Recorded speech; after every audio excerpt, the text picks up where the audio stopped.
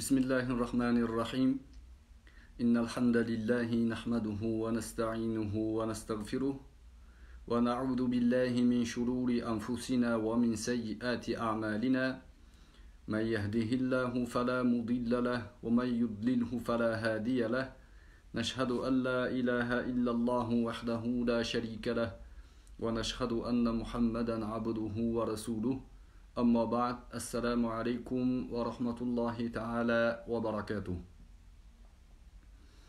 tarix suhbatlarimizdan jannat bashorati berilgan sahobalarning e, tarixlari hayotlari to'g'risida gaplashayotgan edik e, bu tarixning mm, karvonboshisi hazrati abu bakr siddiq roziyallohu anhu e, edilar Mana shu e, mavzuda bugun inshaalloh to'rtinchi qism suhbatimizni davom ettiramiz.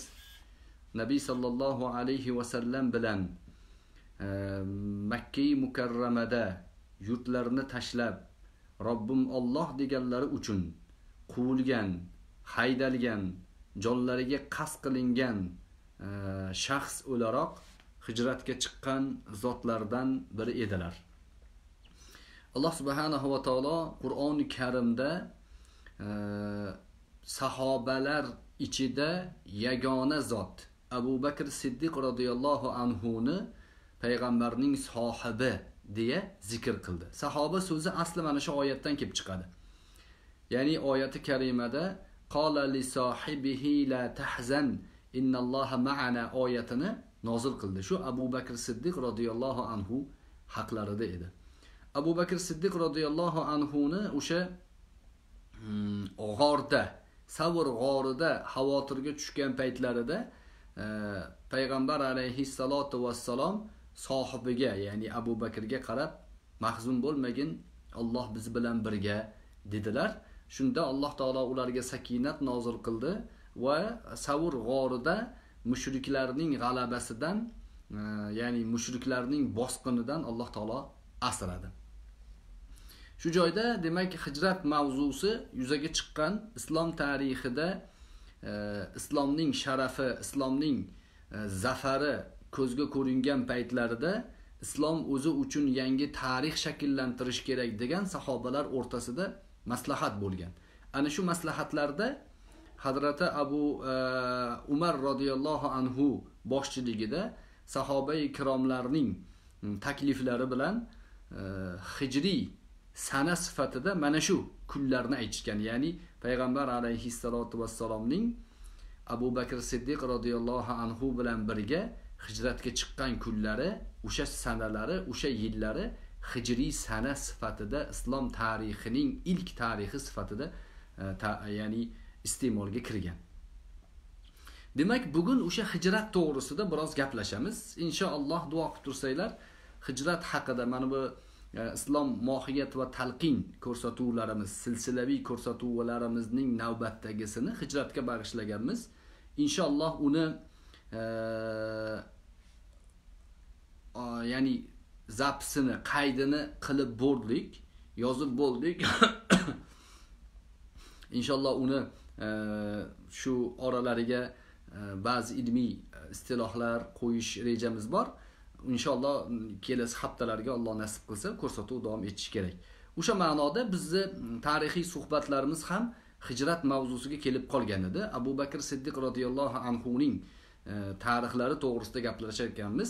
Hijrat to'g'risidagi asl mohiyat ilmiy asoslarni bayon qilishimiz kerak. Chunki islomning eng muqaddas tushunchalaridan imkon qadar radikal tushunchadagi yoki siyosiy maqsadlar bilan xalqlarni orasiga o'zaro adovat urush qitol e, nifoq solish uchun harakat qilayotgan toifalar islomning muqaddas tushunchalaridan foydalanishga urinishadi. Tarixdan ham bo'lgan hozir ham shunday bundan keyin ham shunday bo'lib qoladi. Chunki odamlar o'zlarining jinoyatlarini biz jinoyatchilarmiz deyish bilan oqlashmaydi. Hech kim jinoyatchiga man jinoyatchiman desa ergashmaydi. Ba'zilar mustasnodir. Jinoyatchilar ham o'zlarining adolat posbonlari.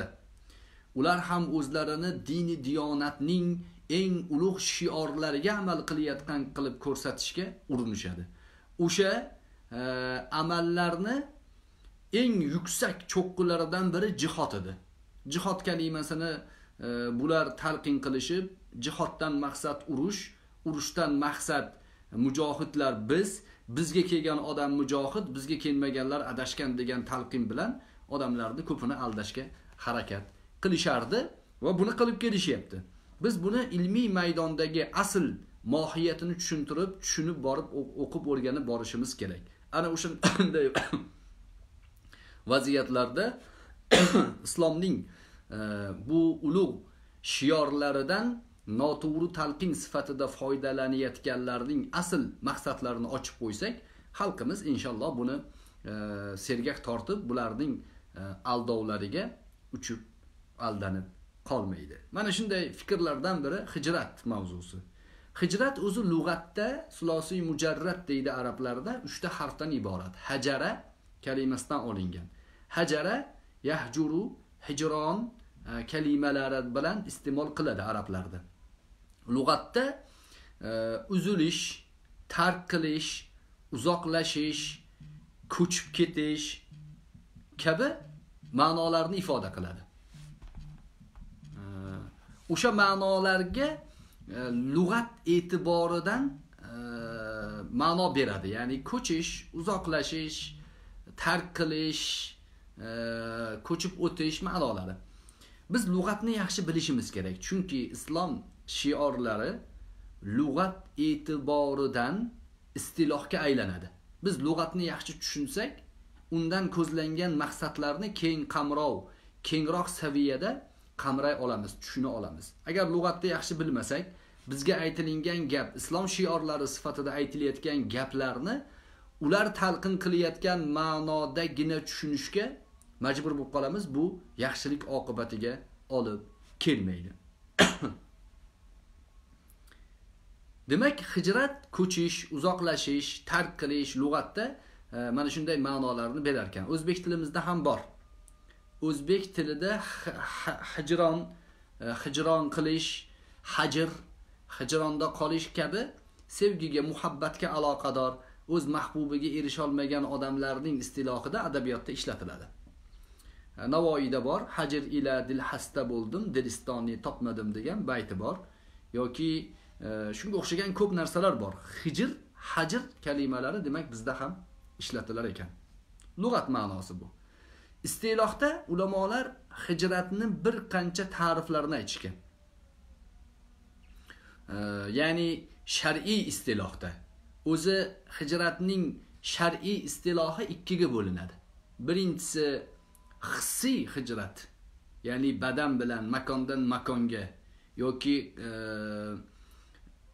bir joydan ikkinchi joyga bir yurtdan ikkinchi yurtga yashash maqsadida ko'chishlikka hijrat deyiladi istilohda lekin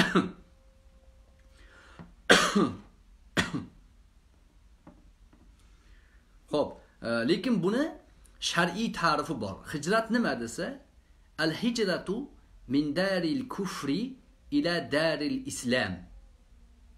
yoki al-xuruju min daril kufri ila daril islam deb nomlanadi. Ya'ni hijrat ko'chish ma'nosi bor ekan. E, kufr mamlakatidan islom mamlakatiga e, ko'chib o'tishlikka hijrat shar'iy ma'noda ishlatiladi. bunga payg'ambar alayhissalotu vassalomning shu hijratlari e, dalil qilib ko'rsatiladi aslida mana shu ta'rifda e'tibor bersangiz dorul kufr va dorul islom kalimalari ishlatilyapti. Sahobalar davrida payg'ambar alayhissalotu vassalomning davrlarida bu kalima istiloh bo'lmagan. Dorul kufr dorul islom kalimalari e, islom tarixining hijriy 100 asrlari ya'ni 100 yillariga to'g'ri keladi. Buni asosan ilk iste'molga kiritgan zotlar avzoiyga o'xshagan zotlar hisoblanadi. Imom avzoiy E, iroq mamlakatini e, dorul islom sifatida ta'rif qilganlar fuqaholarning ijtihodi bu.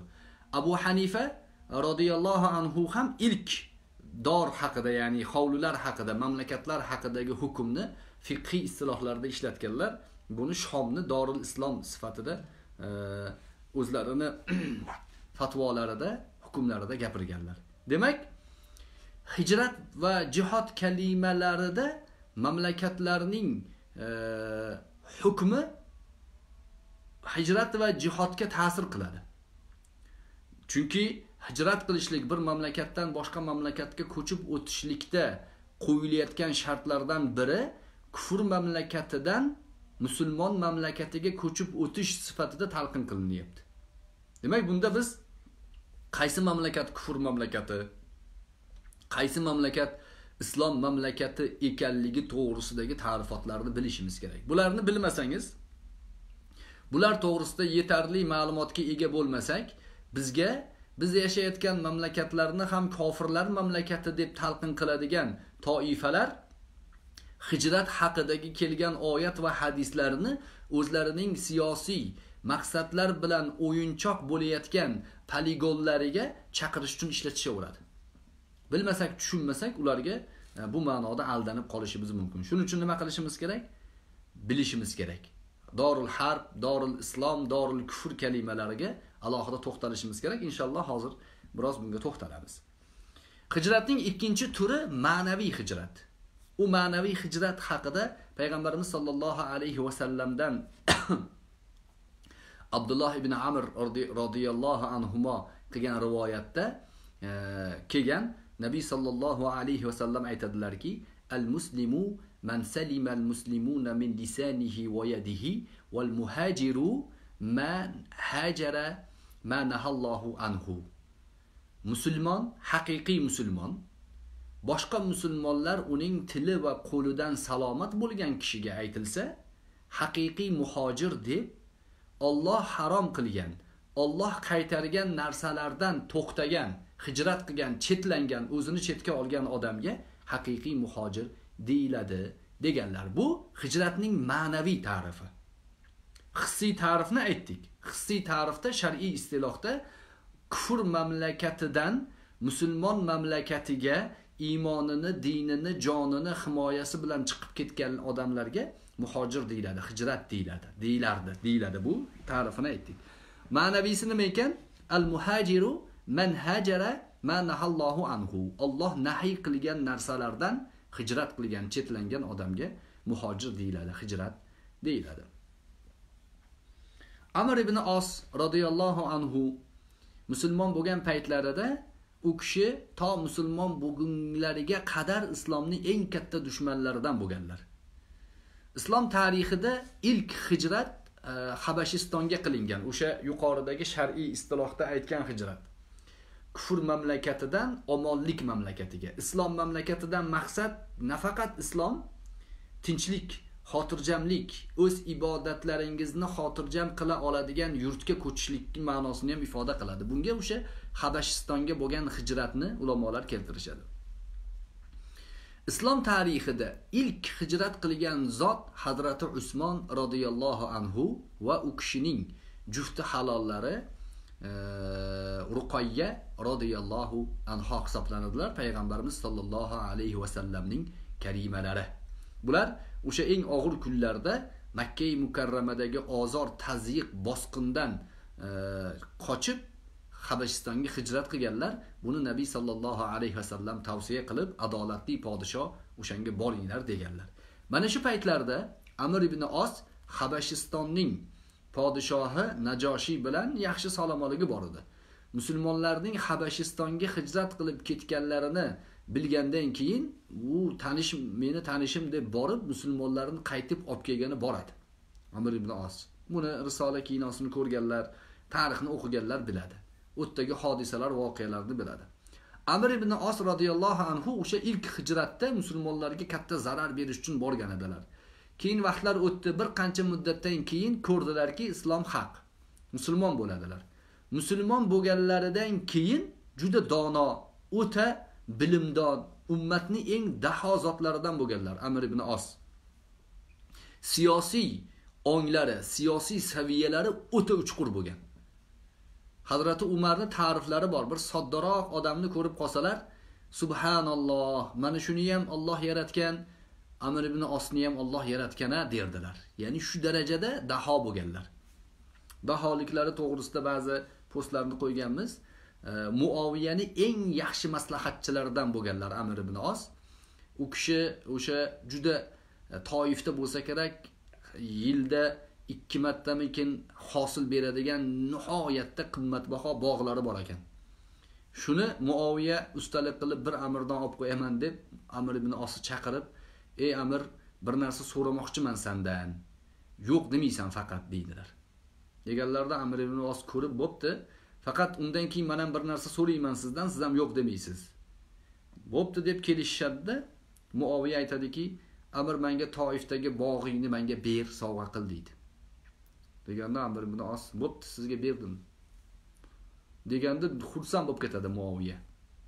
Olloh ajringni bersin olloh ikki dunyoda senga barakot bersin rahmat e, bog'ni berganingga. Endi san nima so'raysan? San so'raganingni so'ra deganda amir ibn os o'sha bog'i qaytaring joyiga deydi. Shu darajada daho bo'lganlar ya'ni hodisalarga farosat ko'zi bilan tikilgan inson bo'lganlar islomdan keyin juda katta ishlarni e, amalga oshirganlar. Shu kishi islomga kirayotganda ham daholiklariga suyanib payg'ambar alayhissalotu vassalomni qo'llarini uzatganlarida bir shartim bor islomga kirishdan oldin deganlar. Payg'ambar alayhissalom i nima qanaqa sharting bor? deganlarida meni oldingi qilgan xatolarim gunohlarim sizga qarshi qilgan dushmanona amallarimni alloh taolo kechirishiga e, va'da bering degan. Shunda payg'ambarimiz sollallohu alayhi vasallam ey amir nahotki san haliyam tushunmading? San sandek fikrli odam haliyam nahotki yetib kelmading? Ahar deydilar. Ahar al islam yahdimu ma kana qablahu. Islom o'zidan oldingi gunohlarni e, yo'qqa chiqaradi. Val hijratu tahdimu ma kana qablahu. Hijrat ya'ni o'sha islom shariatidagi ko'zlangan maqsaddagi hijrat o'zidan oldingi narsalarni e, yo'qqa chiqaradi. Val haj yahdimu ma kana qablahu. Haj amali ham qabul bo'lsa o'zidan oldingi gunohlarni kechirilishga sabab bo'ladi degan ma'noda hadis aytganlar.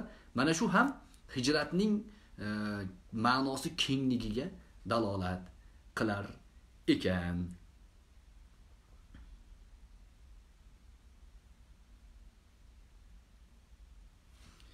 Demak payg'ambarimiz sollallohu alayhi vasallam makka mukarramani din uchun iymonlarini himoyasi uchun tashlab madina munavvaraga hijrat qildilar. Va hijrat qilganlaridan keyin hijrat vojib bo'ldi. O'shanda payg'ambar alayhissalotu vassalom hammaga hijrat qilishlikni buyurdilar. Mushriklar ichida makka kofirlarini ichida musulmon odam qolib ketmasligiga e, ta'kidladilar. Hadis shariflar bor. Bir qancha hadislar. Mushriklar ichida qolib ketganlar mandan emas e, kofirlar ichida qolib ketganlar mandan emas degan hadislar bor. Bu hadislarni noto'g'ri tushunganlar buni ommalashtirib bugungi kunda yevropada yashayotgan musulmonlarga ham tatbiq qilmoqchi bo'lishadi. Asli undoq emas. Bunga inshaalloh biroz e, hukmiga to'xtalamiz. Payg'ambarimiz sollallohu alayhi vasallam hijrat qilganlaridan keyin makka mukarramada qolib ketgan ba'zi musulmonlar hijrat qilish imkoniyati bor edi qilishmagan. Lekin badr g'azotida mingga yaqin mushrik bilan birga qo'shilib badrdagi musulmonlarga qarshi urush uchun qurol ko'tarib mushriklar safida turishlikka majbur bo'lishdi. Musulmonlar o'zi. Shunda ibn abbos roziyallohu anhudan imom buxoriyda qilingan rivoyat bor. Ular badr g'azotida qilich bilan yoki kamon o'qi bilan e, halok bo'lishdi. Musulmonlarni qo'lida halok bo'lishdi. Ularning halokati to'g'risida har kim har xil savollarni har xil e, gap so'zlar chiqa boshladi. Axir ular musulmon ediyu. Nimaga ular kofir tomonda turib o'ldiyu? Nima bo'ladi degan ma'noda har turli gaplarni e, chiqarishdi lekin e, alloh subhanahu va taolo o'shalarning e, halokatining ortidan niso surasidagi quyidagi oyatni nozil qildi audu billahi minash shaytonir rojim إن الذين توفاهم الملائكة ظالمي أنفسهم قالوا فيما كنتم قالوا كنا مستضعفين في الأرض قالوا ألم تكن أرض الله واسعة فتهاجروا فيها فأولئك مأواهم جهنم وساءت مصيرا Sadaqallohul azim. Albatta maloikalar qahr bilan o'sha o'zlariga zulm qilgan, ya'ni hijrat qilmasdan musulmonlarga qarshi qurol ko'tarib chiqishlikka majbur qilingan odamlarni jonini olar ekan, ularga fima kuntum deydi. Qanday holda edinglar? Desa ular qalu kunna mustadafina fil ard. Biz hijrat qila olmadik, mustadafin edik. Mustadafin degani bechora hol, nochor vaziyatda edik. Qo'limizda emas edi degan ma'noda. Shunda farishtalar aytadiki, qalu Alam takun ardullohi wasi'atan. Allohning yeri keng emasmidi? Fatuhajiru fiha. O'sha joyga hijrat qilsanglar bo'lmasmidi? Mushriklar ichida qolib ketishdan nima sizlarga majbur qildi? Yer keng edi-ku degan ma'noda ularga tahdid qiladi. Va Alloh taolo oyatning davomida fa ulaika ma'wahum jahannam. Ana o'shalarning borar joylari jahannamdir va sa'at masira. naqadar yomon boradigan joy degan oyatni nozil qildi. Bu oyat o'sha makkai mukarramada musulmonlarga qarshi qurol ko'tarib chiqqan musulmonlar to'g'risida edi. Bu oyatni ulamolar tahdid oyatlaridan deyishadi. Ya'ni musulmonlarga zarar beradigan e, jamiyatlarga kirib olib, ularni qo'li bilan musulmonlarga zarar berib e, va nimaga bunaqa qilyapsan desa kunna mustadafina fil ard biz yer yuzida ojizlardek ko'cha olmadik degan bahonadagi odamlarga nisbatan aytilgan edi. Bu hukm joriy qiladigan emas tahdid joriy qiladigan hijratning vojibligining asl sabablariga ishora qiladigan oyat. Lekin hijratning sabablaridan asl sabab makka mukarramaning mushriklar qo'lida ularning e, tazyiqi bosqini qo'lida ekanligi sabab qilib ko'rsatilgan. Chunki makka mukarramaga bir qancha muddatdan keyin payg'ambar sollallohu alayhi vasallam hudaybiya g'azotida ya'ni sulhudan keyin mushriklar xiyonat qilgandan so'ng 10 mingga yaqin sahoba bilan makka mukarramaga kelganlar. Makkani fath qilganlar. Makka mukarramada barcha odamlar musulmon bo'lgan qolganlari qochgan. O'ldirgani o'ldirilgan. Musulmon bo'lganlarga islom e, hukmi joriy bo'lgan. Va o'sha makka fath bo'lgandan keyin oysha onamizdan qilingan rivoyatda nabiy sollallohu alayhi vasallam aytadilarki la hijrata ba'dal fathi deydilar ya'ni endi fathdan keyin makkani fath qilib musulmonlar e, islom bilan musharraf qilishganidan keyin endi hijrat yo'q dedilar. Mana shu hadis, sahih hadis ba'zi ulamolar oyatni nasx qiladi deyishgan, lekin asli nasx qilmaydi. Imom Navoviy bilan Imom Ibn Hajar Asqaloniylarning ta'riflari bor. O'sha ta'rifda bu hukm o'zgarganligiga dalolat qiladi deganlar. Ya'ni Makkaning avvalgi holati mushriklarning qo'lida edi.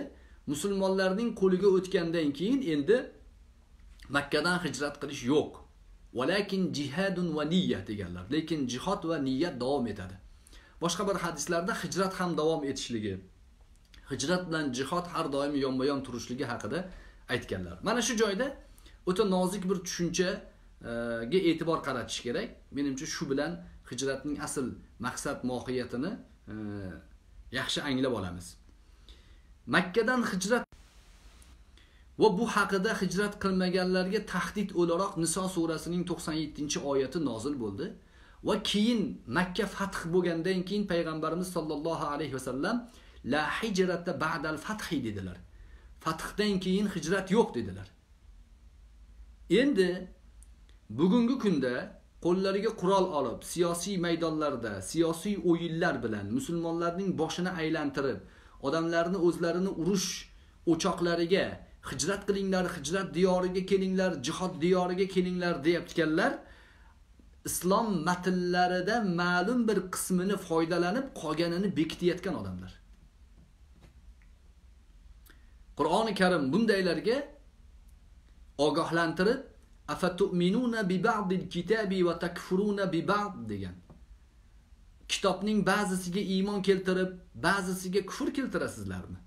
qur'oni karim hijrat haqida 40 ga yaqin oyati karimada zikr qilgan hadisi shariflarda hijratning qanday tarzda qilingani va qaysi qaysi davrlarda hijrat to'xtaganligi to'g'risida bayonotlar kelgan o'sha bayonotlar o'sha hukmlar o'sha narsalarni hammasini e, batafsil bir maydonga olib kelib o'rganmasdan odamlarga aytmasdan hijrat qilinglar bizga ko'chib kelinglar hijrat qilmasanglar bo'lmaydi deyishadi. Endi dorul kufr dorul islom to'g'risidagi ta'rifni shunda o'rganib qo'yishimiz kerak.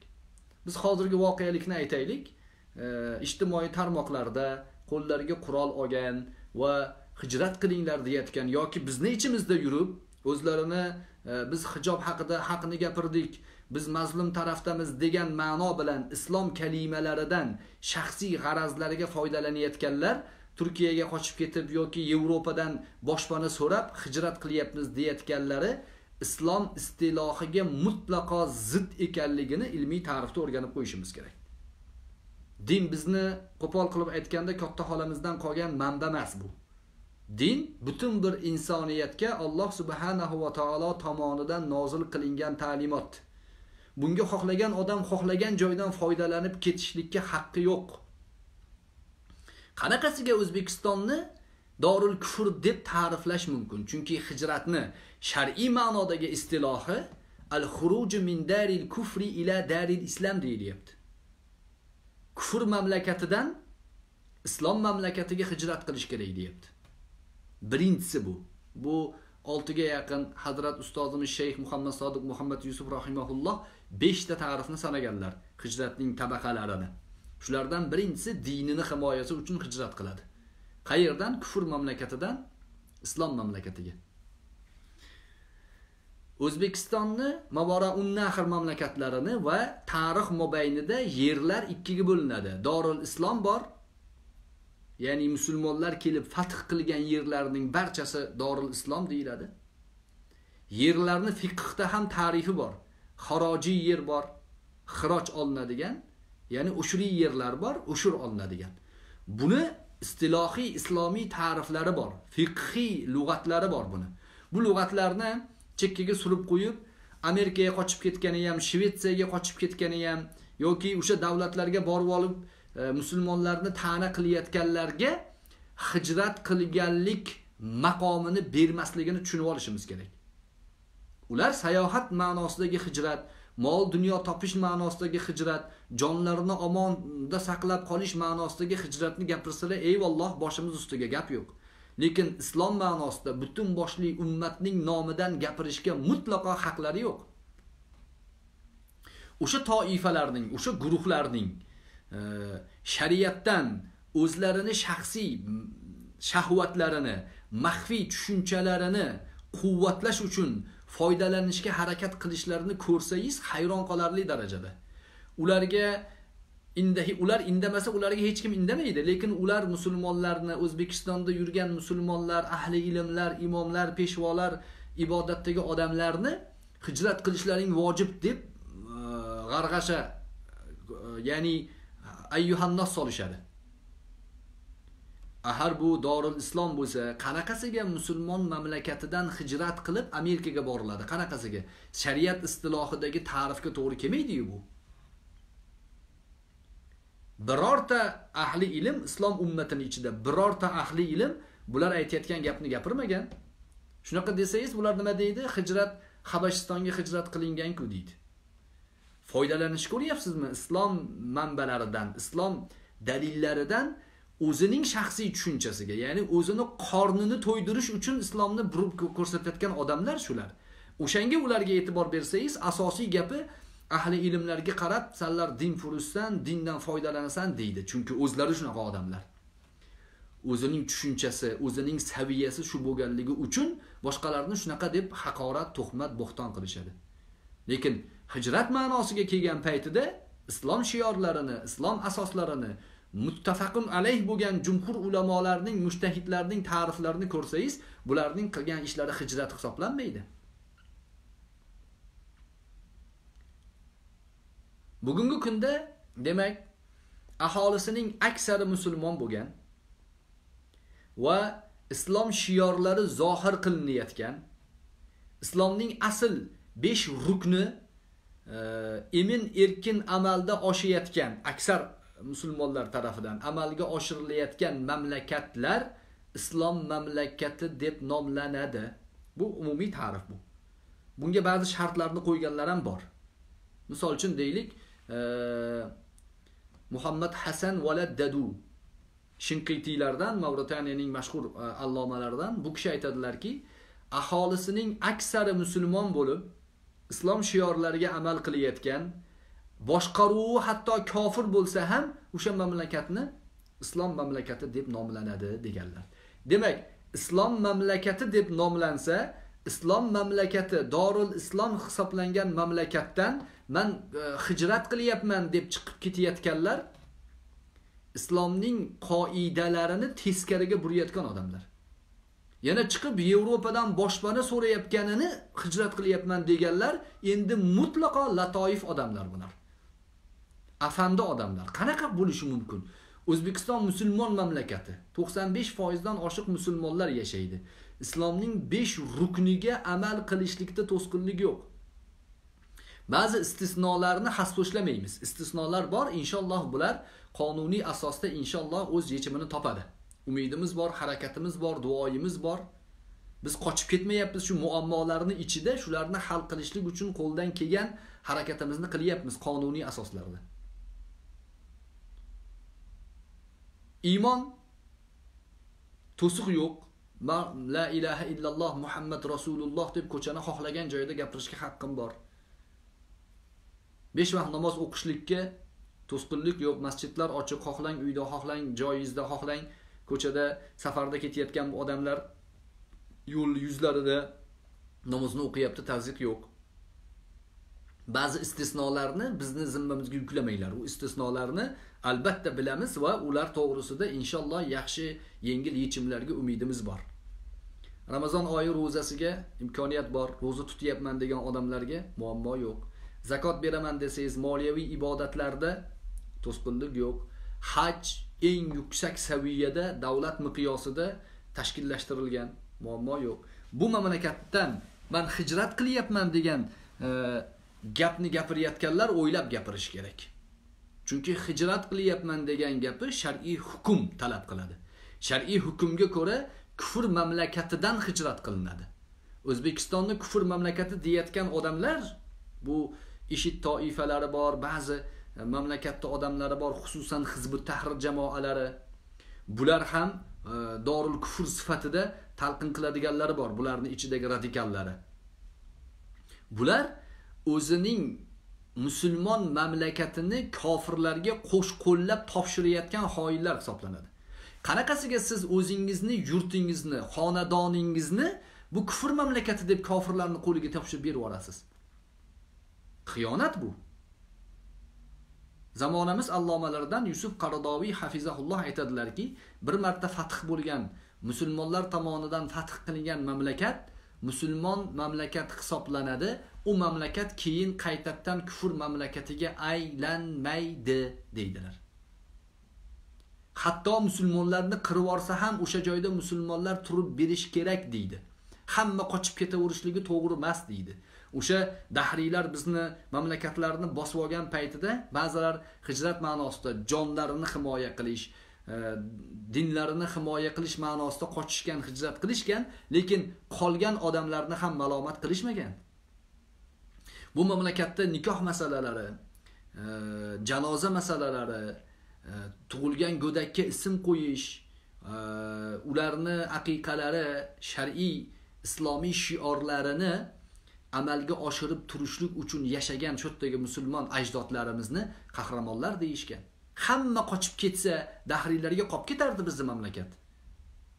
Dahriylar o'zlarining millatdoshlarini o'zlarini e, nusxadoshlarini olib kelib bu e, yurtimizni boshqa millatga ya'ni buni e, integrallashuv deydi. Tamomila millatni yo'q qilishlik uchun reja qilgan dahriylarni sistemalari bo'lgan besh etaplik sistemasi bo'lgan ularni. Tilimizni tariximizni millatimizni nomimizni dinimizni qadriyatlarimizni yo'qotish oqibatida mutlaq bu joydan islom nomini yo'qotishlikka harakat qilishgan. Shu joyda yashab hujralarda bo'lsa-da harakat qilib muallimi soniyni bostirib islom dini nima degan kitoblarni bostirib e, ya'ni yer osti harakati bilan musulmonlarning dinini iymonini e, muhofazasi uchun joniyu molini e, tikib harakat qilgan ajdodlarimiz haqiqiy qahramon ajdodlarimiz dedi. Ular o'z mamlakatlarini kufrning qo'liga berib qo'ymasligi uchun shu ishni qilishgan edi. O'shalarning harakati bilan o'shalarning e, jasorati bilan alloh subhanahu va taolo bizlarga mustaqillikni berdi. Darrov o'shalarning xizmatidan o'sib chiqqan avlod e, kadrlar islomni yana yetkazishni boshlashdi. Bugungi saviyaga mana alhamdulillah robbil alamin keldik. Yana inshaalloh bundan ham yaxshi bo'ladi. Endi o'sha radikal tushunchadagilar o'zbekistonni kufr davlati deyapti. Daliling nima desa islom hukmi bilan joriy bo'lmagan mamlakat deyapti. Bu ta'rifni aytganlar mutlaq ta'rif qilib hamma qabul qilgan ta'rif emas bu. Yer yuzida islom hukmi bilan joriy bo'layotgan mamlakat yo'q deyarli. Yo'q hatto saudiya mamlakatida ham shunaqa. Ba'zi hukmlar joriy bo'lsa-da mutlaq hukmlar yo'q. Eron ham shu. Shia e'tiqodida islom davlati deb nomlanadi lekin butun dunyoni aldash uchun islom davlati borku deyish uchun qilingan degan o'yinlardan biri bu ham hijrat qilish kerak degan oyat hadislarni gapirib qayerdan hijrat qilish kerak qayerga hijrat qilish kerakligini gapirmaydi. Noto'g'ri talqin gapirayotganlar. Payg'ambarimiz sollallohu alayhi vasallam makkadan hijrat qilgandilar bo'ldi. Keyin davomini gapirishmaydi. Payg'ambar alayhissalotu vassalom qaytib yana kelib makkani egallaganlaridan keyin la hijrata ba'dal fathi dedilar. Fathdan keyin hijrat yo'q dedilar. Buni gapirishmaydi. Gapirsalar ham buni boshqacha ta'rif qilib musulmonlarning e, islomdan islomiy saviyadan islomning ilk tushunchalaridan bexabar odamlarni yoshlarni xususan aldab o'zlarining urush jabhalariga chaqirishga harakat qilishadi. Demak buni bilish kerak. O'zbekiston musulmon mamlakat. Bu joydan chiqib ketayotganlar yo mol dunyo tashvishida yo o'zini yaxshiroq yashash maqsadida bolamni tarbiyasi deb ketayotgan bo'lishi mumkin boshqa narsalarni qilayotgan bo'lishi uchun chiqsa chiqib ketaversin. Islomda islomda bugungi kunning fatvolari yevropaga tegishli fatvolar ham yevropalar kufr mamlakatlari lekin dorul ahd deyiladi muohada mamlakatlari shartnoma bilan kelishuv asosida yashayotgan mamlakatlar. Musulmonlar bilan o'zaro diplomatik aloqalar bor. U joyda musulmonlarning ibodatlariga e, ruxsat bor. Ta'ziq yo'q taqiq yo'q. Lekin e, o'zlarining yevropacha buzg'unchiliklariga ham bemalol imkoniyat bor. U joyda yashayotgan musulmonlarga musulmonlarni ta'na qilmaganlariga o'zlari harakat qilib o'sha yerda islomni yetkazish uchun islomiy xulq bilan o'sha joyda boshqalarga o'rnak bo'lish uchun turgan musulmonlarga hech qanday ta'na yo'q. Bemalol yashashga haqlari bor.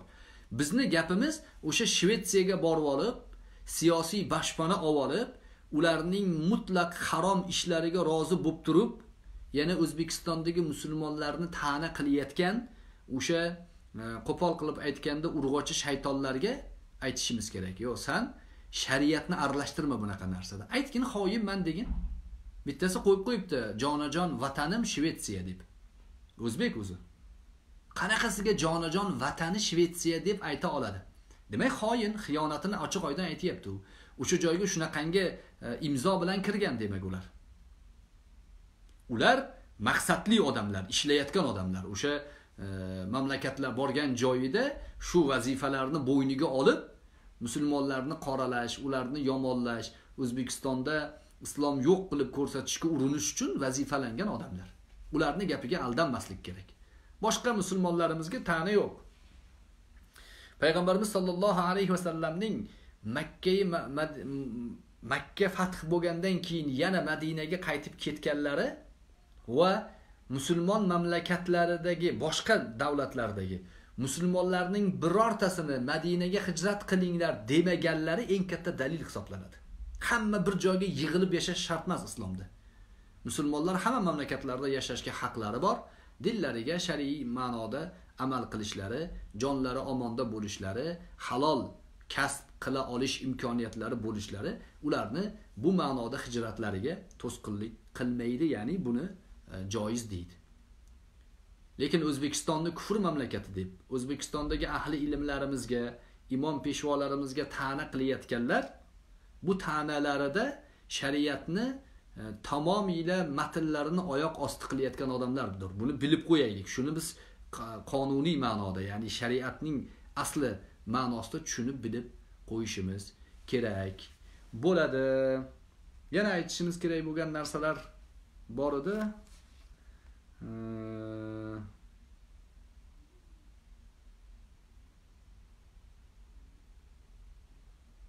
imom shofiy aytgan ekanlar dorul harbda ham musulmonlar yashashga e, imkoniyati bor. Dorul harbni nima dedik? Dorul kufr ham deydi dorul harb urush mamlakatlari. E, islomga amal qila olish imkoniyati bo'lsagina ruxsat beriladi u joylarda.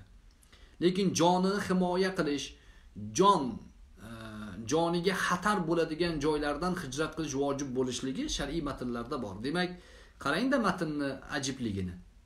O'sha urush o'choqlariga borib olib kimningdir yo Rossiyaning yoki Amerikaning yoki Turkiyaning yoki kurdlarning siyosatlarida o'yin o'ynab yurgan odamlar hijrat qilish kerak, jon himoyasi, din himoyasi uchun deb chaqiryaptilar, lekin o'zlarining jonlari, o'zlarining dinlari xatarda. Asli hijrat qilish kerak bo'lsa, o'sha urush poligonlaridan qochib chiqish kerak tezda. Qochib tinch mamlakatlarga kelib ibodatlarni qilishlari kerak. Dinlariga amal qilishlari kerak. Dinlariga amal qiladigan e, ya'ni islomning 5 rukniga imkoniyat bor yerlarga hijrat qilish kerak. Demak teskarisi ekan u. Unga xatar yo'q o'ziga hech qanday xatar yo'q odamlar o'zbekistondan hijrat qilyapman deb chiqib yo o'sha urush o'choqlariga borishyapti. Mutlaq matnga islomning maqsadlariga zid yoki Yevropadan boshpana so'rashyapti. Behayolarcha, uyatsizlarcha, yana buni din matn bilan quvvatlashga urinishyapti. Noto'g'ri narsalar shular. Dinni aralashtirmanglar, qochadigan bo'lsanglar, qochib ketyapmiz deylar. Yana shu joyda bir narsa bor. Ko'p odamlar ishlagani ketadi. Dinni, shariatni yaxshi tushunmaydi, bu, bu joyda o'qimagan, o'rganmagan. Masalan, deylik, Rossiyaga boradi ishlagani. Qarasa atrofda hamma ibodatlik namozxon bo'lib ketgan ularga qo'shilib namoz o'qishni boshlaydi. Alhamdulillah robbil alamin. Namozxon bo'lgandan keyin dinga qiziqishni boshlaydi. Dinga qiziqishni boshlaganda e, chetda asosan kimning tuzog'iga tushadi? Abdulloh zufarni tuzog'iga tushadi. Abdulloh zufar bugungi kunning havorijiylarining enasi. U keyin tug'ishni boshlaydi. O'sha e, bu joyda benamoz bo'lib ketgan namoz o'qib endi islom haqida tushunchalarda abdulloh zufarni e, ga homilador bo'ladida hamma yoqqa keyin havorijiylikni tug'ib tashlaydi. Ular keyin e, bundan ham chuqurlashsa sekin borib suriyaga iroqqa boshqa urush maydonlariga aylanib borib ketib qolyapti. Gaplashsangiz islomni bilmaydi tushunmaydi. Ularning aldoviga noto'g'ri talqiniga e, qopqoniga tushib aldanib umri hayoti dini mutlaq e, qurbon bo'lyapti. Qurbon bo'lyapti. Mana shu narsalardan mm, ehtiyot bo'lishimiz kerak. Ba'zilar jinoyatini bekitish uchun shu ishni qiladi. Bu joyda jinoyat qilgan jinoiy to'da sifatida harakat boshlagan qo'llariga qurol olishgan eplay olishmaganlari uchun ularga jinoiy ta'qib bo'lganligi uchun qochib ketishgan va qochib ketgan joylariga borib o'zlarining jinoyatlarini berkitib biz hijrat qilib keldik. O'zbekistonda yoki e, falon mamlakatda islomga tazyiq bor degan yolg'on gap bilan e, xiyonat qilishadi. Dinni o'zlarining shaxsiy jinoiy maqsadlarini oqlash maqsadida ishlatishga harakat qilishadi. Mana bu narsalarga ham e'tibor berish kerak. O'zi jinoyatchi odamlar chetga chiqqandan keyin muhojir bo'lib qoladi o'zicha. Ya'ni islom ma'nosidagi muhojir qo'liga qurol olsa mujohid bo'lib qoladi. U jinoyatchi o'zi. Qidiruv e'lon qilingan unga. Jinoyati bo'yicha qidiruv e'lon qilingan. Birovni haqqini yeb ketgan birovi mulkini o'zlashtirib ketgan birovi joniga e, ya'ni birovning mulkiga joniga tajovuz qilgan chetga chiqib muhojir mujohid bo'lib qolgan. Ozgina soqol qo'ysa ko'rinishida namozxon ibodatli ko'rinsa bo'ldi. Mana shu narsalarga ham demak e'tibor berishimiz kerak. Inshaalloh hijrat ma'nosida qisqaroq to'xtaldim. Alloh nasib qilsa bir soatga yaqin ko'rsatuv e, qildik. Alloh e, tavfiq hidoyat bersin oson qilsin manfaatli qilsin. Bu ham chiqish kerak. U yerda inshaalloh batafsilroq yana to'xtalganmiz. Savol javoblar ma'nosiga bo'lsa savol javoblarni ham qilsak bo'ladi. Bugun biroz erkinroq e, gaplashamiz. Alloh nasib qilsa. Meni bir 5-6 kunlik e, bemorligim bo'ldi. O'shaning uchun ko'proq ijtimoiy tarmoqda ham e, bahs ya'ni jonli muloqotlarga kirisha olmadik. Inshaalloh sal yaxshiman. Ozgina yo'tal bor lekin yaxshimiz. Alloh nasib qilsa yana suhbatimizni davom ettiramiz. Bismillah. Bu e, meni bir birodarimiz tek qilibdilar mana bu e, dilnur fohishani sahifasida u e, meni islom sivilizatsiya markazidan ishdan haydaldi e, degan ma'noda gaplarni tarqatib o'zicha xushxabar deb yozyapti ekan. Bunga juda xursand bo'lgan mana kamoliddin yo'ldosh degan uni eri bor ya'ni turmush o'rtog'i. O'zlaricha xursand bo'lishyapti. Unday gap yo'q. Meni hech kim hech qanaqa ishdan haydagani yo'q. Ish e, meni o'zi e, rejalarimda yangi ish e, taklifi bor. Oldingi ishdan bu bu dilnur fohishaga o'xshagan uch to'rt so'm pul uchun xohlagan ishni qiladigan odamlarni E, muammosi emas undan oldinroq bu ishlar to'g'risida bizni rejamiz bor edi. E, meni e, birodarlarimdan iltimos qilaman shunaqangi fohisha buzuq erkakligini sotib qo'ygan hayoti dunyosi e, tamomiyla baxtsizlikka botib endi nima qilishi bilmay odamlarga sakrab yurgan odamlarni sahifasiga meni tek qilmanglar. Ular shunaqa bir axlat odamlar tekkan sariyiz sasiydigan odamlar e, erkakmas erkak emas odamlar e, bizdagi qobiliyatlarni e, ya'ni shunaqa qobiliyatli ekanligimizdan hasad bilan uxlolmaydigan odamlar. O'sha bo'lgan voqeada nima deb yozibdi? Orqamdan yugurib kelib qornimga tepdi debdi. Qobiliyatimni ko'ryapsizmi? Orqasidan yugurib kelib man qorniga tepadigan darajada ya'ni tay taychilar ham bunaqa emasda. Orqasidan yugurib kelib qorniga tepibman keyin bir soat urdi meni debdi bir soat. Man bir odamni bir soat ursam u keyin turmasligi kerak u. Bitta udarda uxladi o'zi. Bitta udarga yaramaydi. Ya'ni osmonga sakradi undoq qilib tashodirg'onman mundoq qilib tashodirg'onman dedi. Borganda bitta udarda uxladi. O'zi uxlamadi urmasin deb xirilladi. Yerga yotib olib ataylabdan xirilladi urmasin deb. Xir xir qilib og'zidan ko'pik chiqarmoqchi bo'ldi ko'pik chiqmadi. Sovun yeb kelish esidan chiqqan menimcha. Unaqada o'rgatish kerak ularga sovun yeb keladi bunaqalar. Bit tursangiz yerga yotib olib sovunni chaynaydi keyin og'zidan ko'pik chiqadi odamlar urmaydi ularni. Shunaqa toifa bu. Bu o'zi e, e, shunaqa deb odamlarga tarqatyapti. Uni atrofida asosan dahriylar sunnat inkorchilari uni sahifalarida uning informatsiyalari uning gapiga qarab e, har xil atrofiga e, nima deydi ularga qo'shilmaslik kerak. Hijrat bobida yana aytishimiz kerak bo'lgan bir oyat bor edi shuni aytib ketishim kerak ekan. Bunga tegishli. Alloh taolo qur'oni karimda mana shunaqangi mavzularga aloqador va idza الذين yakhuduna fi ayatina e, hozir oyat esga kelmayapti hozir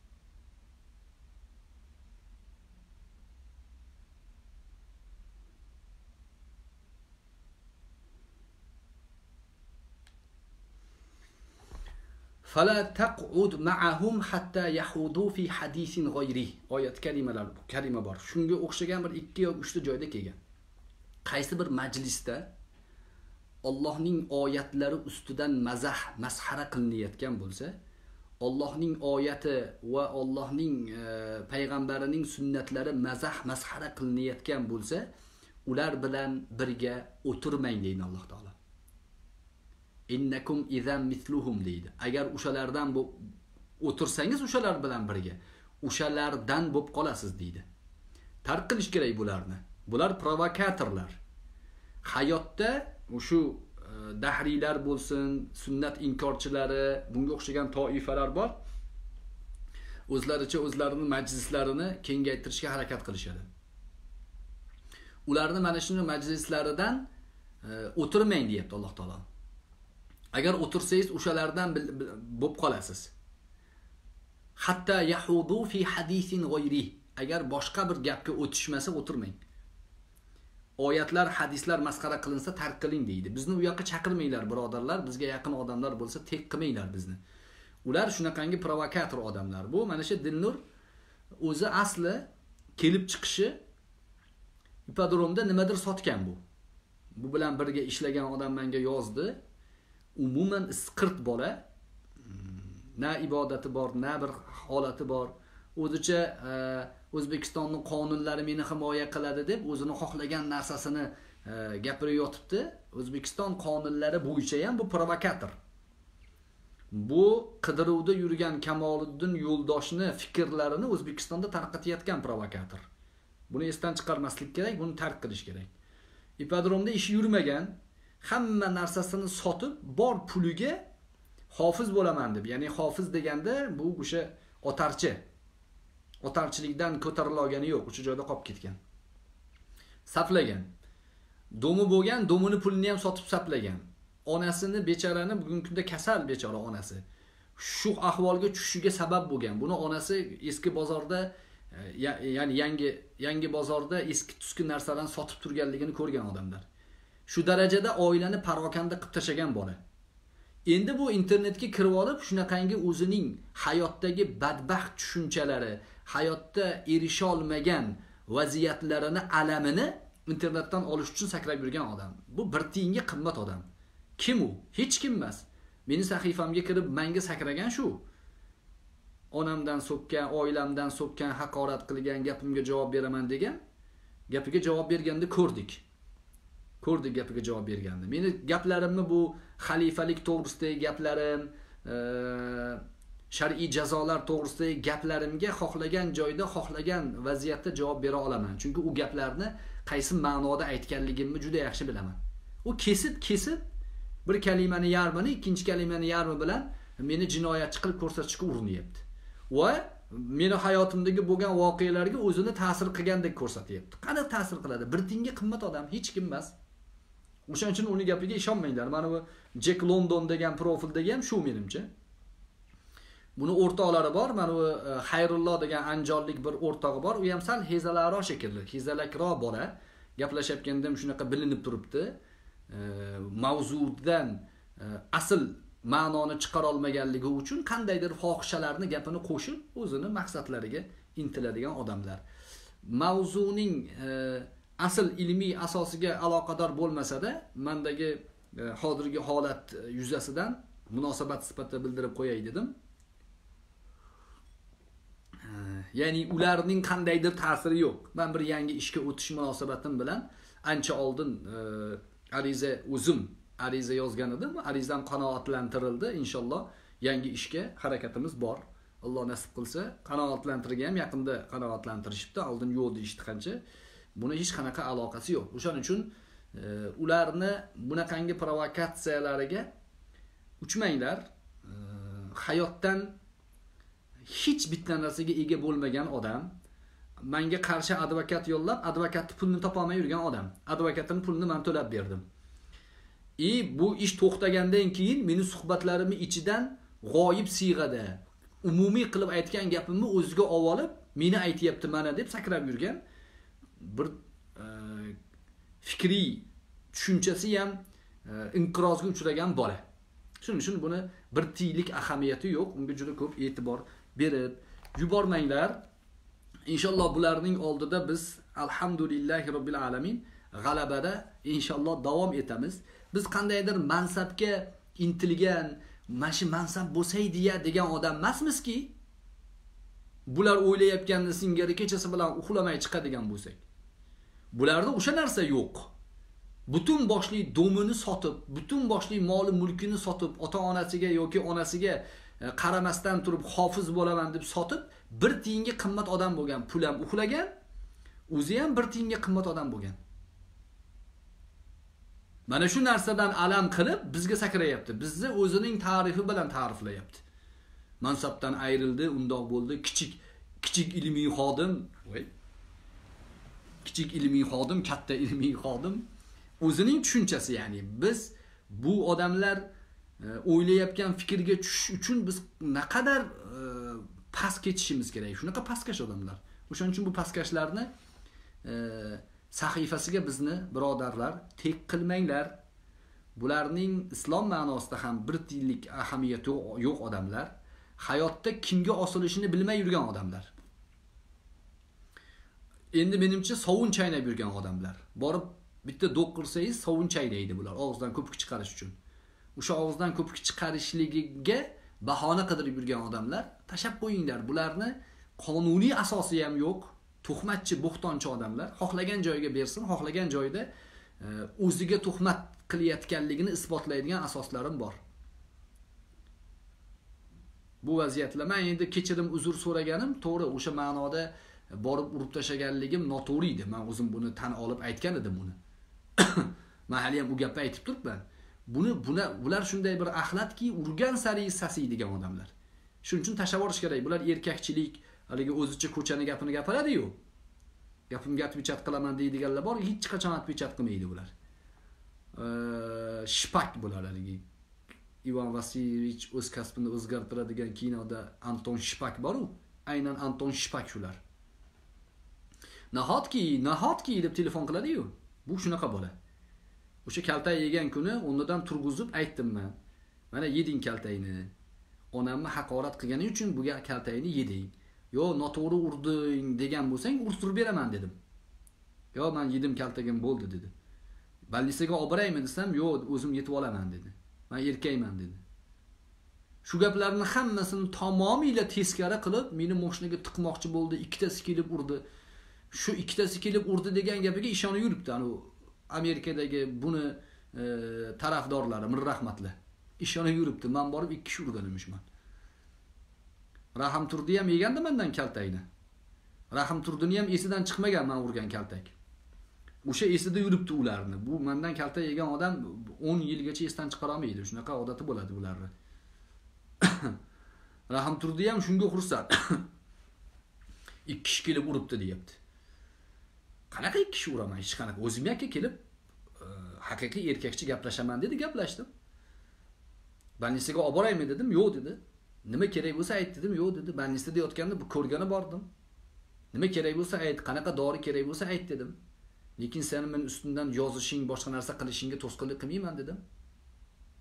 Xohlagan qo'lingdan xohlagan kelgan keladigan ishni qil.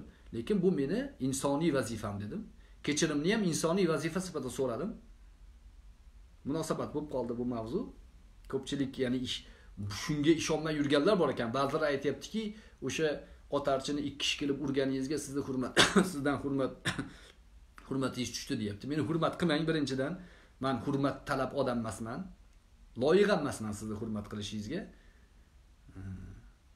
Undan tashqari ikki kishi borib urmaganman. Mandan ham so'rang mavzuni. Mavzu shunaqa bo'lgan. Moshinaga tiqmoqchi bo'ldi. Moshinaga tiqmoqchi bo'lmadim yur больницаga olib boray dedim. Bu yerda ko'piging chiqarishga harakat qilding nimadir bo'lgan bo'lsa ayt olib boray dedim. Yo'q o'zim ketaman dedi. Shundoq ko'chaga chiqib telefon qilgan keyin. Bular shunaqa odamlar ya'ni bu munosabatga endi inshaalloh to'xtamaymiz. Дальше davom etsin qo'lidan kelgan ishni qilsin. Buni dodalari xo'jayinlari kamolning yo'ldoshlarini kuchaytmagan. Э, atrofidagilar ham shu to'ppa to'g'ri. Erkak emas odamlar. O'sha kunlari xayrulloh deganiga telefon qildim. San mandan so'ramasdan nimaga qo'yyapsan bu mavzularni dedim. Sal hezalaroq o'sha anjomlik ekan shekilli kelib gaplashasan desam gaplashadigan tipi yo'q bularni. Qo'rqoq odamlar. Qonuniy asosda meni qonun himoya qiladi deb o'ylab o'zicha provokatsiya qiladi. Qonunni biz ham bilamiz. Qonunga nisbatan qonuniy asosga nisbatan inshaalloh bizni e, bizga qilayotgan tuhmatlari yig'ib yurilibdi. O'zlariga e, qarshi ishlab qolish ehtimoli ko'proq. Alloh subhanava taolo barchalarimizni ilmiy asoslarga to'g'ri yondashib bunga amal qilib borishimizda o'zi yordamchi bo'lsin. Savollar bormi? Ilmiy asoslarimizga ko'ra.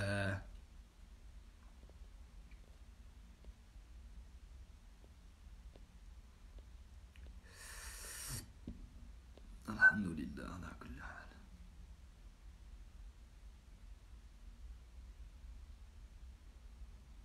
Jasurbek hakimov sizni lavozimingizdan ozod xursand bo'lib yurish post qo'yishdi debdilar. Shu mavzu mana e, haydashgani yo'q. Man o'zim shaxsan arizamni yozgan edim. Boshqa ish munosabati bilan. Ularni ichi kuyib yonib turaversin hozircha. Menga hozir hozir kunni o'zida e, besh o'nga yaqin taklif bor ish takliflari. O'zim tanlagan asosiy ish yo'nalishida ketyapman. Alhamdulillahi robbil alamin. Haq taolo o'zi e, foydali manfaatli ishlarga muvaffaq qilsin.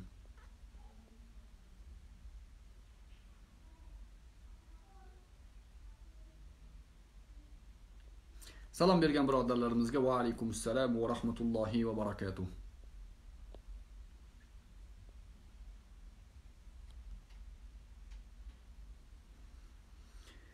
Ikromjon kasimov degan birodarimiz uzr ustoz o'zbekistonga keladigan xitoy talabalariga o'z fikringizni bildirsangiz yaxshimi yoki yo'q debdilar. Har qanday mavzuni qanday yaxshi qaysinisi yomonligi to'g'risida vaqt ko'rsatadi. Inshaalloh hikmati bor. Al xayru ma sanaahulloh degan hikmat bor. Yaxshilik nima desa Allohning qadaridagi bo'lgan har bir ish musulmon uchun yaxshilik. Musulmon odam hech narsa yutqazmaydi. Biz dinimizga amal qilib uni o'rganib borar ekanmiz inshaalloh u 1 million kelgan xitoy talabalarini musulmon bo'lib ketishligida e, hissamiz qo'shsin. Shuni harakatida bo'laylik. Inshaalloh buni ham bir yaxshi hikmati e, bo'ladi. Xosatan bu o'rinda o'sha sharqiy turkiston xalqi musulmon millat mazlum millatni alloh subhanava taolo o'zi rahmi kelsin ularga nusrat bersin ularning boshida bo'layotgan zulmga haq taolo o'zi najot bersin mazlumlarga najot zolimlarga o'zi kifoya qilsin bu abdurahim hayit degan bir e, ziyoli inson bor edi. O'sha kishi vafot etibdi biz uni qo'ydik ta'ziya ma'nosida. Bu xalq bugungi kunda o'ta mazlum xalqlardan. Yana bir narsa aytib ketay. Bu e, bugungi kundagi teoriyalardan ya'ni siyosiy maydondagi odamlarning fikrlari o'rtasida chiqqan gaplardan ba'zi joylardan manbalarni ya'ni man ham e, televideniya orqali ijtimoiy tarmoqlar matbuot yoki siyosiy maydondagi odamlarning fikrlaridan siyosiy tahlillarga e, urinib turaman ba'zi o'rinda. Yaqinda amerika pokistonning e, zindonlarida yotgan aminulloh degan odamni 200 million dollarga sotib olganligi to'g'risida gap chiqdi.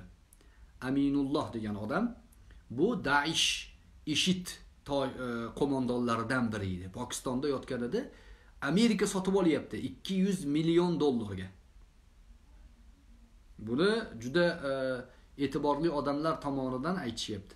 Nima uchun sotib olingan aminulloh desa yangi o'sha qo'shtirnoq ichidagi bog'dodiy xalifa boru buni o'rniga deb sotib olishga degan e, taxmin bor va buni xitoy chegaralariga joylashtirishyapti hozir. Amerika xitoy o'rtasida siyosiy ma'noda ba'zi ba'zi ishlar bor. E, ijtimoiy tarmoqlarda butun dunyoda e, sharqiy turkistondagi zulmni ommaviy tarzda bunaqa e, ko'rsatishdan maqsad ham shu degan taxminlar bor. Albatta mazlumlarga alloh taolo najot bersin. Lekin shu ishni yanada olovlantirish uchun ishid jamoasini xitoy chegaralariga joylashtiryapti. Ularga amir sifatida aminullohni ozod qilganligi dalil sifatida ko'rsatilyapti degan gaplar yuribdi. Buni birodarlar eslab fikr sifatida e, bir tahlil sifatida eshitib qo'ying. E, kelajakda shunga o'xshagan hodisalar bo'lib qolsa bu voqealardan demak siyosiy ma'noda xabardor bo'lib tursak ba'zi o'yinlar kimlar tomonidan o'ynalayotganligini bilib tursak inshaalloh o'sha o'yinlarga o'ynab qolmaymiz. Buni bu ham bir xabar. Buni esda saqlab qolaylik.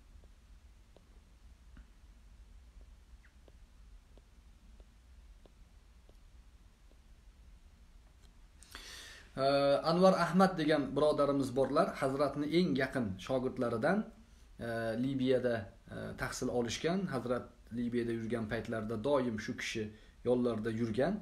Anvar ahmad e, o'zimizni ustozlarimizdan e, E, mubashshir ahmad hafizahullohning ukalari bo'ladilar.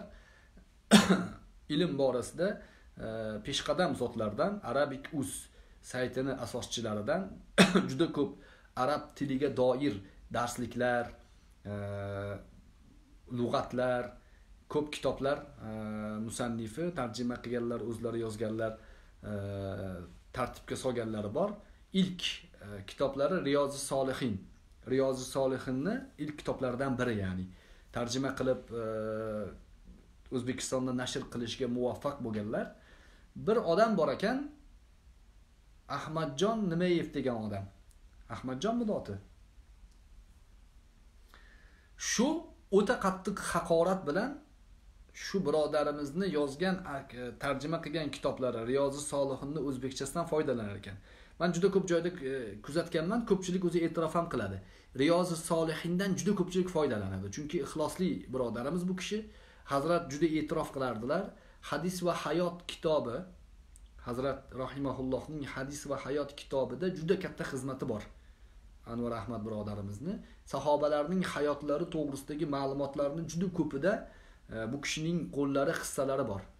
E, Hazratning ilmiy o'zbekistondagi ilmiy darslariga takliflarni ilk bergan odamlardan biri shu anvar ahmad bo'ladilar. Hazratni o'zlarini maqsadlari bo'lgan va bu maqsadlarni e, ro'yobga chiqishligi turtki bo'lishligida anvar ahmadni mm, takliflarida shaxsan tirik guvohman.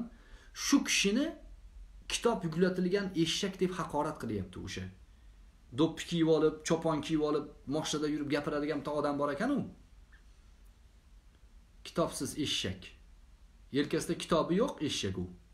Anvar ahmadga o'xshagan ahli ilmlarimizni kitob yuklagan eshak deb haqorat qilyapti. Nima emish? Jihod bobini tashlab ketgan emish. Ataylab yozmagan emish. Yolg'on kazzobchi kazzob kazzob yolg'onchi deb so'kyapti vaholanki kitob 2006 yilda chiqqan. 2006 yilda jihod kalimasini jiddiy jahd deb yozishlikka majburlangan. Senzura bo'lgan. Jihod kalimasini gapirishga umuman imkon bo'lmagan. Butun boshli boblar olib tashalgan uni senzurada o'tirgan odamlar qilgan. Kimlar o'tirganligini u paytdagi odamlar yaxshi biladi. Ko'pi ishdan ketdi ko'pi e, ba'zi jazolarni o'tayapti. Bugun erkinlik bugun imkoniyat bo'lgan paytda inshaalloh uni yana chiqarib e, qilish imkoniyati bor bo'ladi inshaalloh. Lekin mana shu ulamolarimizni ahli ilmlarimizni haqorat qilayotganlarga voy birodarlar qo'shilmasligimiz kerak. Ularga qarshi turishimiz kerak. Ulamolarimiz jonlarini tikib bu ishlarni qilib turibdida yana shunaqa e, odamlardan haqorat ishlayapti. Mubashshir domlamizni chiroyli bir gapi bor. O'zaro gaplashgan gaplarimizdan birida aytyaptilarki ilgarigi ulamolarni haqorat qilsa bitta odam kelib yuziga kelib haqorat qilgan so'kkan ketgan. Hozir ijtimoiy tarmoqda itan bitan ulamolarni haqorat qilib yotibdi. Kim bo'lishidan qat'iy nazar ulamolarni ommadan haqorat qilib yotibdi. Islom shiorlarini ustidan kulib yotibdi. Amerikadagi mirrahmatni postini ko'rdim bir kuni bir kishi jo'natdi. Nima debdi u? Ilon ota rohibxonasi ilon otaning rohibi deb imomlarni rohib masjidlarni e, ibodatxona deyapti o'sha rohiblarni ibodatxonasi. Buning bu gapning kufr ekanligida ittifoq muttafaqun alay ulamolar buni e, inkor qilmaydi. Kim masjidni katolik cherkovini e, ibodatxonasiga o'xshatsa kim imomlarni imom e, rutbasini rohiblik desa dinni ustidan kulayotgan bo'ladi. Tavba surasida abillahi va ayatihi va rasulihi kuntum tastahziun oyati shunga o'xshagan hodisaga tushgan ayni shunga tushgan. Islomning shiorlarini qanaqasiga rohib deb yuboradi imomni? Qanaqasiga ibodatxona rohibxona qilib yuboradi masjidlarni? Yo hazillashuvdim ha? Alloh va oyatlari rasulini ustidan hazillashasanlarmi degan Alloh taolo. La ta'tadiru qad kafartum ba'da imanikum degan. Uzr aytmalaring kofir bo'lasanlar degan. Kofir bo'ldilaring degan. Iymondan keyin. Ulamolarimizni ham haqorat qilaveradi, masxara qiladigan faqat mavzu ulamolarimiz. Kazino to'g'risida gap chiqqan ekan, darrov ana shoshi degani chiqib olib, endi yanagi juma imomlar e, kazinoni qimormasligi to'g'risida fatvo aytadi, deyapti. Kufur gaplar mana shular kufur gaplar. Ular shuni orzu qilayotgan odamlar. Imomlar shunaqa gap gapirsa ana ko'rdinglarmi biz aytgan gap chiqdi deyishni orzu qilgan odamlar. Shaytoniy tushunchadagi odamlar. Yaxshi niyat yaxshi fikr qalb toza bo'lmaganligi uchun faqat botqoq chiqadi. Fikrlar ham shunaqa loyqalanib ketgan. Shu tomonlarda ehtiyot bo'lishimiz kerak. O'sha nomi esimga kelmayapti. Man unga yozdim. Ulamolarni kitob yuklangan eshak deb haqorat qilishga mutlaq haqqing yo'q. O'zi olim emasman deyapti. Olim bo'lmaganingdan keyin ilmga nima qilasan aralashib? Olim emasmanu ulamolar undoq deydi shular. Olim emas ekansan xo'p san ulamoni qandayligini qayerdan bilasan? Man uni kitob yuklanmagan eshak desam haqorat qilyapsiz deydi. San nimaga eshak deyapsan desam oyatda olloh aytgan deyapti. Voy. U eshak desa oyatga tushar ekanda man uni eshak deganiga qaytib san o'zing eshaksan desam meniki haqorat bo'lar ekan. Uslubni qarang ayni havorijiylik. U havorijlikka ham tortadigan saviyadagi odam emas lekin havorijiylikni uslubi shu. Shaxsiy manfaat uchun o'ziga kerakli bo'lganda oyat kerak bo'lmaganda haqorat deydi. Birodarimiz e, bizni e, hurmat qilib e'tibor qilib bizga bir e, baho sifatida sahifamizga kirgan ekanlar. Anvar ahmad esimga tushib qoldi shuncha aytib qo'ydim. Birodarlar ahli ilmlarimizni himoya qilishimiz kerak. Sionizm tashkilotining protokollar degan e, boblari bor. Mason tashkilotlariga yozishadi. Bu endi biroz shubhali deydi odamlar lekin o'sha joydagi ishlar hayotda bor ko'rib turibmiz. O'sha protokollarning 34 to'rtinchisida menga vallohu alam esimda yo'q. Mason tashkilotlariga yuklatilgan vazifa din peshvolarini obro'sizlantirish. Dinni obro'sizlantirishlikdagi ilk qadam din peshvolarini haqorat qilish obro'sizlantirish. Peshvolarni obro'sizlantirish oqibatida nasroniy dinini pachag'ini chiqarib bo'ldik degan ular. Endi navbat islomga degan islom ulamolarini islom peshvolarini obro'sizlantirsak buni oqibatida islomga keyin zarar yetkaza olamiz degan. Shu ishni qilayotganlar masonlarning bu vazifalarini o'zlari bilib bilmay qilayotgan odamlar. O'shalarning vazifasini o'shalarning e, qo'ygan protokollariga amal qilayotgan odamlar. Siz biz bunaqa bo'lmasligimiz kerak. Shaxsda xato bo'ladi mutlaq. Imom degani pokiza osmondan e, ikkita qanot bilan tushgan odam degani emas. Imom xato qiladi lekin imomlikka ta'na qilmaslik kerak. Imomligini qilish kerak musulmonlarimizni peshvolari turish kerak peshvo o'rnida. Olimlarning obro'si haybati maqomi bo'lish kerak. Soxta profil bilan kirib olib musulmonlarning imomlariga sakrayverishlik to'g'ri emas. O'zimiz o'tirgan shoxni o'zimiz aralayotgan bo'lamiz bu bilan. Nima foyda ko'rasiz ulamolarga sakrab? Bo'layotgan muammolarning hammasida ulamolarmi aybdor? Yo'q unaqa emas. Bizda ham ayb bor. O'zimizni o'nglashimiz kerak o'zimizni isloh qilishimiz kerak. Shu narsalarga e'tibor beringlar birodarlar.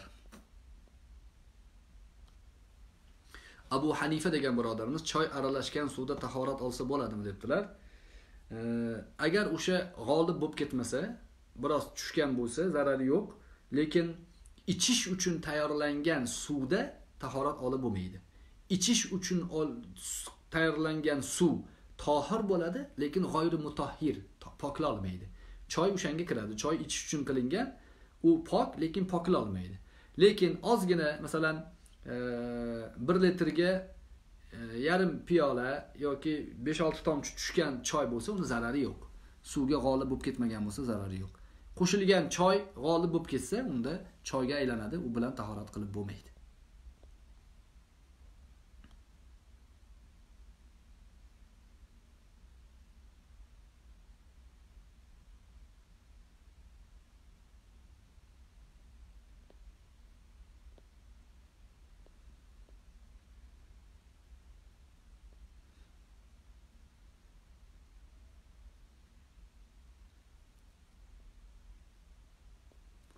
Jack London. Bu din nuri o'zi bu.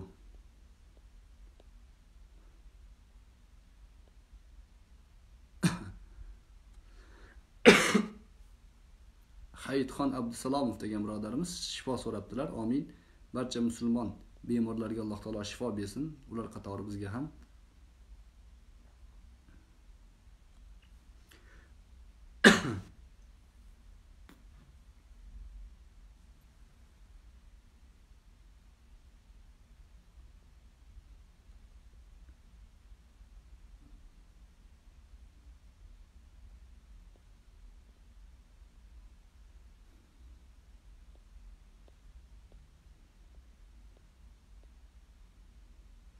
muhiddin usmonov sharqiy turkiston haqida fikringiz debdilar. Fikrimizni aytib boryapmiz.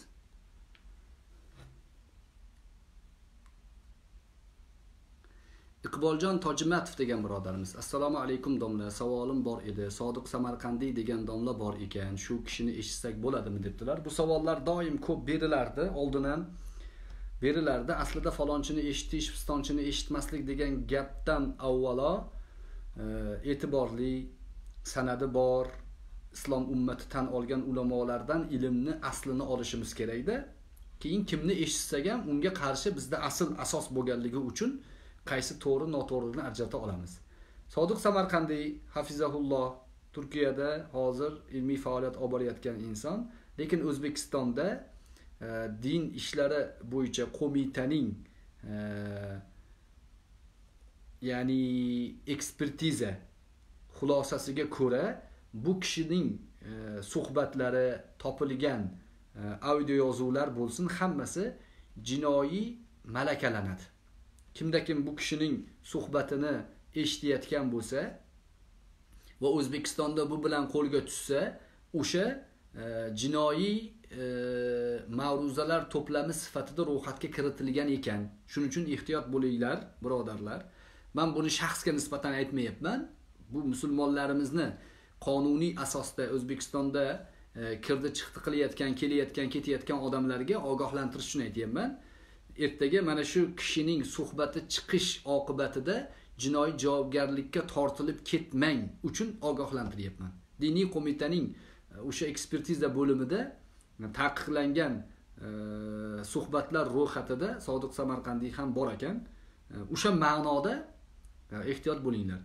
Dinni shariatni islomni o'rganishda e, asl manba ya'ni bizni ulamolarimiz e, kitoblaridan e, shayx muhammad sodiq muhammad yusuf rahimaullohning asarlaridan ahli ilmlardan imom peshvolardan o'rganish kerak.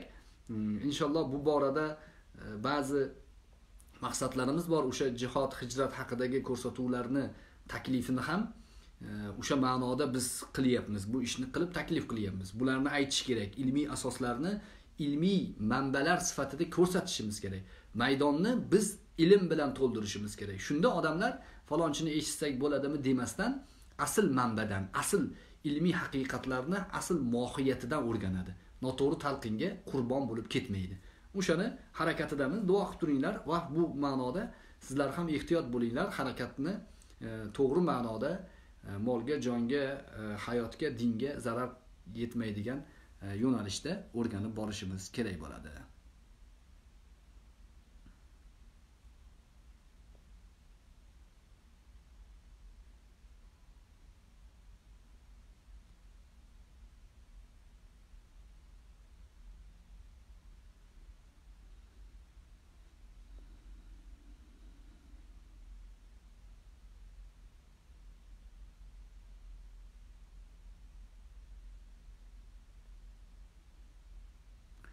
Ulug'bek faxriddin o'g'li degan birodarimiz internetda pul ishlash joizmi debdilar. Internetda youtubeda e, shunga o'xshagan sizni qo'ygan e, qaydingizni bir milliondan oshiq ko'rsa reklama evaziga youtube sizga pul taklif qiladi. Bu narsalar joiz. Faqat qo'yayotgan narsangiz buzuqlikka da'vat qilmasligi kerak. Buzuq buzg'unchilik aqidada bo'lsin fahsh munkar ishlarga e, targ'ib bo'lmaslik kerak. To'g'ri ma'noda hmm, axloq odobga tegishli narsalarni bir milliondan oshiq ko'rish kam endi o'zi. O'zi ijtimoiy tarmoqlarda ham e'tibor bersangiz asosan faxsh munkar ishlar e, ko'p e, ko'riladi. Lekin e, o'shandoq bo'lsada biz o'zimizni e, to'g'ri ma'nodagi e, qaydlarimizni ya'ni yozilgan narsalarimizni e, bir milliondan oshiq ko'rsa youtube pul bersa uni olish joiz bo'ladi.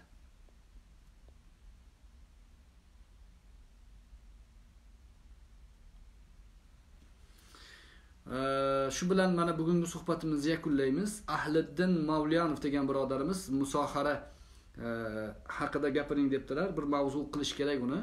Inshaalloh unga bir to'xtalarmiz. Bu savollar to'g'risida alloh nasib qilsa yana bir e, suhbatlarni davom ettiramiz. E, buguncha inshaalloh e, shu suhbatimizni shu joyda yakunlaymiz. Haq subhanava taolo barchalarimizni tanimizni sog' iymonimizni salomat islomga amal qilib borishimizda o'zi ko'makchi yordam bersin.